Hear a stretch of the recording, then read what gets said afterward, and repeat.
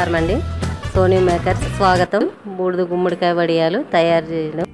శుభ్రంగా కడిగి అది మీడియం సైజులో ఉన్న గుమ్మడి పగలగొట్టిన కొబ్బరి గుమ్మడికాయని చిన్న చిన్న ముక్కలుగా కోసుకుని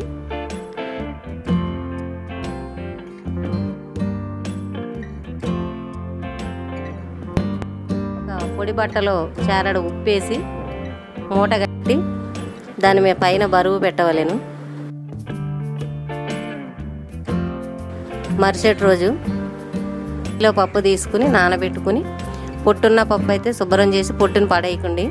అది ఇడ్లీ పిండిలా మెత్తగా ఉండాలి వడల పిండిలా గట్టిగా ఉండాలి. ఎండుమిర్చి గుండా కింద కొట్టుకోవాలి. పసుపు అల్లం ముద్ద జీలకర్ర యాభై గ్రాములు ఉప్పు తగినంత. ముక్కలు ఒక బౌల్ బేషన్లో వేసుకుని పొట్టు శుభ్రం చేసుకున్న దాన్ని లైట్గా గ్రైండ్ చేసి దాంట్లో కూడా ఈ పిండి కొంచెం కలుపున్న పిండిని ఆ మిశ్రమాన్ని ముద్దలు ముద్దలుగా ఒక బట్ట వేసుకుని కాటన్ బట్ట వేసుకుని ఎండలో పెట్టుకుని ఆ రోజంతా ఎండాలి మర్నాడు ఎండాలి.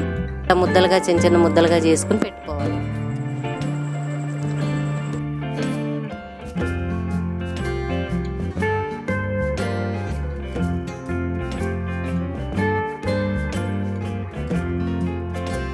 మరుసటి రోజు కూడా ఎండనిచ్చి